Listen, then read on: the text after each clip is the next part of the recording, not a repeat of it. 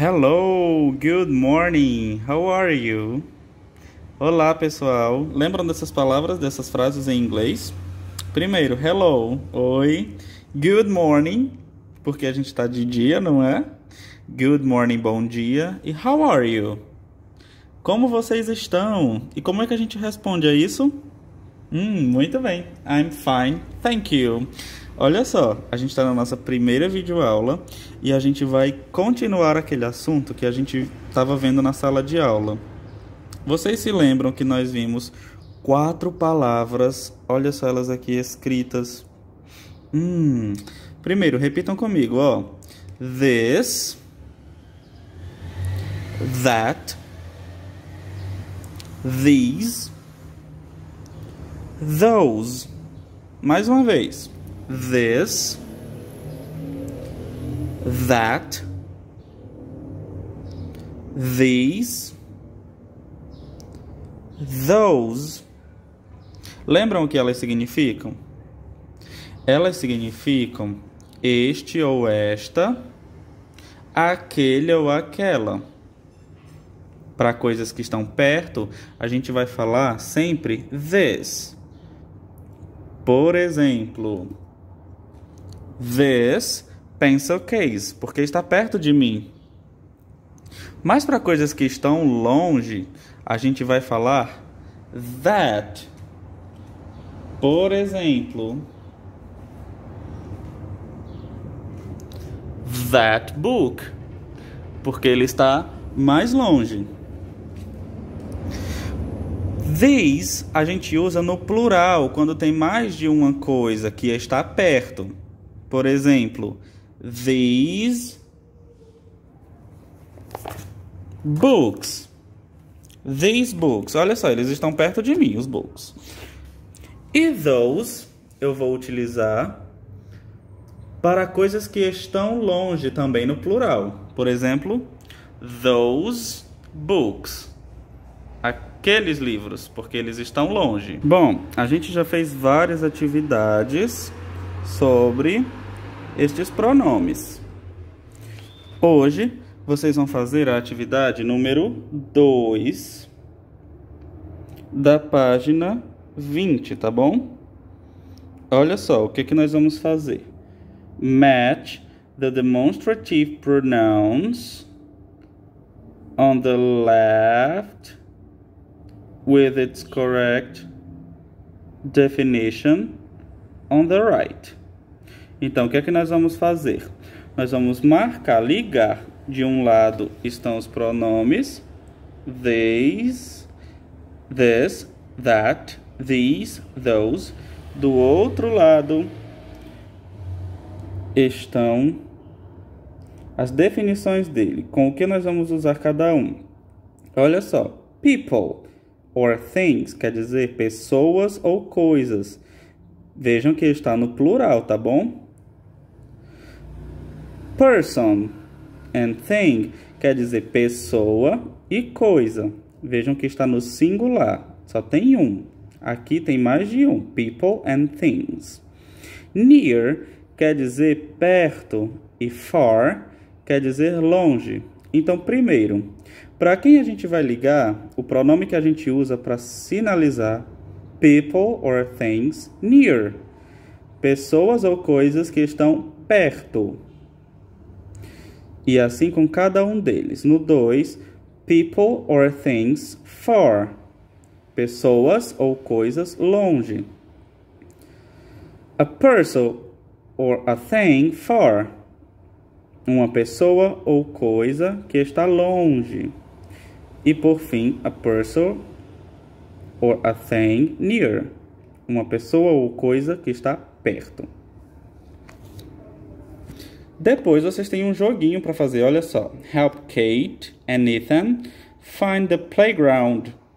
É um joguinho de labyrinth. É um labirinto que vocês vão procurar por cada uma delas, mas eles não estão procurando por um lab, um laboratório. Eles não estão procurando for books. Eles não estão procurando for sports or balls eles estão procurando ó, o playground Então vocês vão ter que descobrir qual caminho leva eles, tá bom? Bem, na próxima atividade, diz assim, ó. Listen to the dialogue and fill in the blanks. Next, circle Katie's pencil case. Olha que interessante. Nessa atividade, eu vou mandar um áudio para vocês, para ajudar vocês a responderem essa atividade, tá bom? Nesse áudio vai ter um diálogo. E aí, escutando esse áudio, que vocês vão preencher esse texto que está com alguns espaços aí logo abaixo dessa imagem. Logo depois, vocês vão circular qual desses aqui é a pencil case da Kate. Ok? Muito bem. Qualquer dúvida, é só vocês falarem comigo lá no privado, que eu vou estar lá para responder. Lá na página 22, na página 22, a gente tem uma atividade que vocês vão poder fazer em outra hora, tá bom? Por exemplo, à tarde ou à noite, quando vocês tiverem um tempinho livre. É uma atividade para vocês fazerem um desenho, olha que incrível! E é falando sobre tchan, tchan, tchan, tchan, friendship ou amizades. O que vocês vão desenhar aqui? Hum, vocês vão desenhar coisas que vocês acham que uma amizade significa. O que será que uma amizade quer dizer para você? O que será que amigos fazem para você? What does a friend mean to you? Draw it here. Você vai desenhar aqui o que você acha que é uma amizade de verdade. E para você entrar no clima, olha que tem uma musiquinha aqui, que legal, falando sobre make new friends. Fazer novos amigos. É uma música falando também sobre amizade. E também tem um vídeo falando, cantando essa musiquinha para vocês ouvirem, tá bom? A letra dessa música tá bem aqui, ó, no livro de vocês, na página 23. Para vocês se divertirem enquanto pintam a, essa atividade aqui, enquanto vocês desenham vocês e os amigos de vocês, tá bom? Por fim, para a gente finalizar a aula de hoje, olha só. Nós temos uma tirinha, uma histórias em quadrinho, que em inglês a gente chama de cartoon. Olha isso. Conhecem esse personagem? O nome dele é esse aqui, ó. Garfield. No primeiro quadrinho, he's drinking a coffee. Hum, delicious. Então chega um amigo dele, a friend, e, e grita, Yip! Hum, ele se assusta, joga o coffee que ele estava tomando, ó. E ele diz assim pro amigo dele com uma cara nada boa: Don't do that. Depois o amigo pergunta: Yip? E ele diz: Isso mesmo, yeah, that. Não faça isso. Eles ficam se olhando e quando Garfield vai tomar o coffee novamente, o amigo dele dá outro grito: Bark!